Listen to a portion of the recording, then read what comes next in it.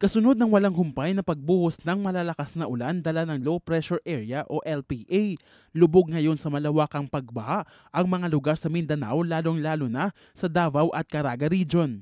Ang mga lugar na ito na kasalukuyang nakakaranas ng malawakang pagbaha ay ang mga parehong bayan na sinalantari ng Bagyong Pablo dalawang taon na ang nakakaraan. Sa Butuan City sa Agusan del Sur, umapaw na ang Agusan River na siyang pinakamalaking river basin sa Pilipinas. Sa kasalukuyan, nalubog na sa baha ang maraming mga barangay sa Butuan City at iba pang mga bayan sa rehiyon. Sa mga mabababang lugar, lampas taon na ang baha.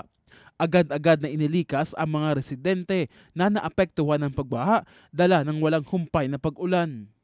Isinailalim na rin ngayon ang Butuan City sa state of calamity. Maliban sa Butuan City, nauna nang isinailalim si state of calamity ang bayan ng San Francisco sa Agusan del Sur.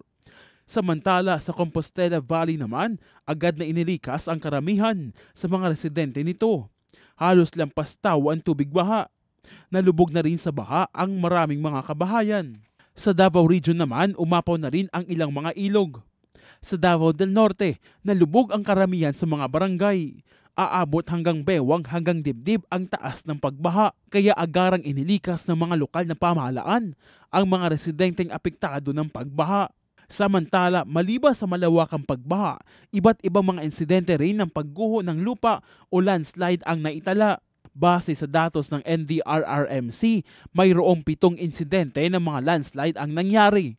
Ang ilan sa mga ito ay naganap sa mga bayan ng Lanao del Norte, Davao del Norte, Agusan del Norte at Dinagat Islands. Giit ng pag-asa, bagamat hindi paganap na bagyo ang LPA, nagdala pa rin umano ito ng tuloy-tuloy, walang tigil na malakas na ulan bagay na siya nagdulot ng pag-apaw ng ilang mga pangunahing ilog sa Mindanao na nagresulta ng pagbaha aasahan na tatagal pa ang mga pag-ulan dulot ng LPA hanggang tatlong araw.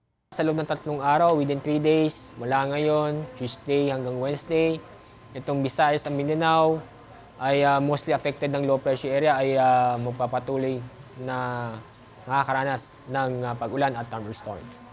Samantala, sa isang text message, siniguro naman ng palasyo ng Malacanang na nakatutok ang pamahalaan ukol sa mga nangyayari kasabay ng malawakang pagbaha. Ako po ay inyong kaibigan, Joe Wash Bermejo para sa Newslight.